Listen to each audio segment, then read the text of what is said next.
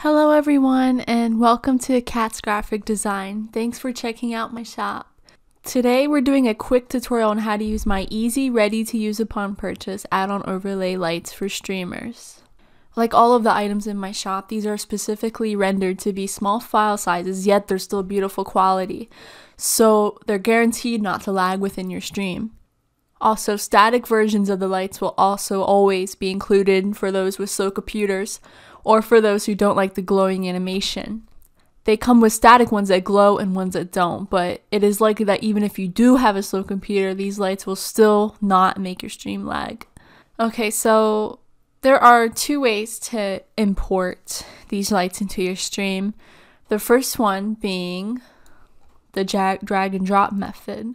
So in order to do this, just simply have your file explorer to the side and drag and drop it into there. But you have to remember that as soon as you add something new into here, you should locate it in here, go to properties, and select loop, or else it will not loop and it'll just disappear after a few seconds. The next way to import a light is to go to this plus button here, go to media source, you can name it whatever you'd like, press loop, and then just browse through your files and try to find it.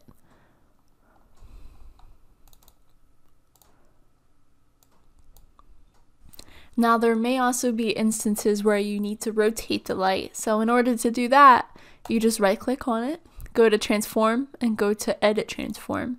From here you see this rotation option here. When you press it, it rotates. So you can either guess a number or just use those little buttons, but I usually use 10. So as you can see, it goes that way. And then I'll do negative 10 to make it go that way. So then I'll just close that and I'll place it the way I like it. Now I could duplicate this light by just copying and pasting it. So control C and control V, just do that. And then I'll locate the next one, go to or go to transform and just put in the opposite of negative 10, which is 10. Close it and I'll put it where I like it and that's it. Within OBS, there's also an option to flip them. So in order to do that, just right click on it, go to transform and do flip horizontal or vertical and there's many other options here and that's how you do that. Another cool thing that I would like to show you guys is the option that you have to change the color of these lights. So these are normally blue, but I changed them to pink. Um, so just go to right click on it, go to filters. Um, I'm going to delete this for now. Press the add button and go to color correction. So in here you have a variety of different um, options here.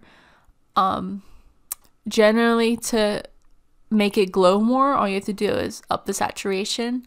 And as you can see, it will actually glow brighter. So you can actually adjust how much it glows. Now, what I used to change the color was the hue shift just simply do this.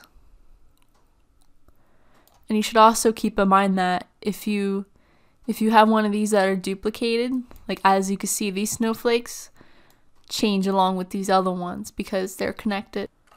I also wanted to quickly show you guys how to crop these in case you ever needed to do so. So again, just right click on it, go to filters, and then go to here and go to crop slash pad. And as you can see here, you can just enter some numbers and it'll crop that side. So if I want to crop the left side, I just put in any number until you find like that sweet spot of where you want it to be cropped. And there you go. So that side's now cropped and now you can do the other side as well. And I told you guys how to do this because of this like black string here. Sometimes you may not want that in there. So it's very easy to cut it out if you don't like it. I also wanted to quickly show you guys how you can stretch these lights in case you ever wanted to. So just simply grab it and hold down shift and you can just stretch it out. Or you can make it smaller, which is also kind of really useful sometimes when you when you're trying to place these lights on your stream. So as you guys can see, there is a wide variety of possibilities for these lights.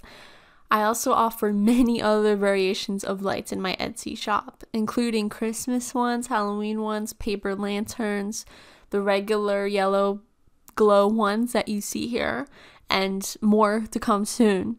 You can also mix and match them